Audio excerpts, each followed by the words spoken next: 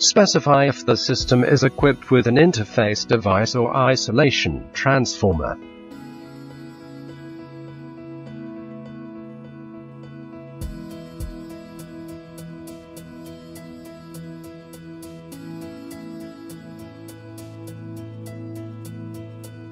Generate the electrical diagram using the Assisted Design Processor wizard.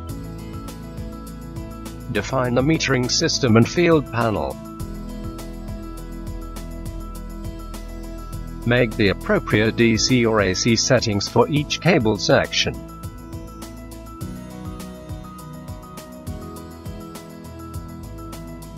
Choose the system protection devices on both DC and AC sides.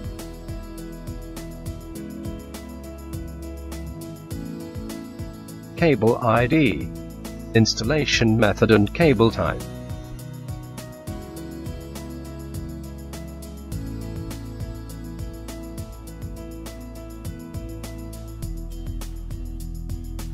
You can choose a single component.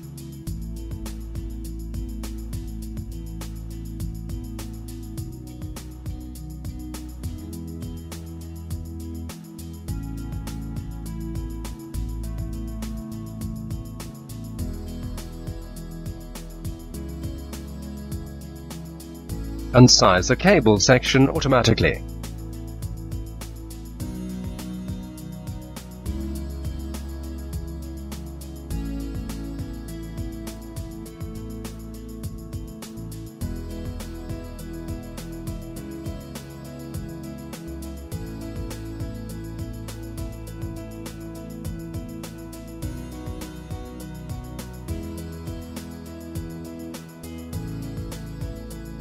For each switchboard.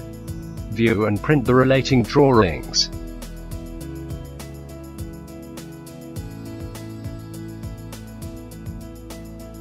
Quickly obtain a single line diagram and a data summary for each section of cable.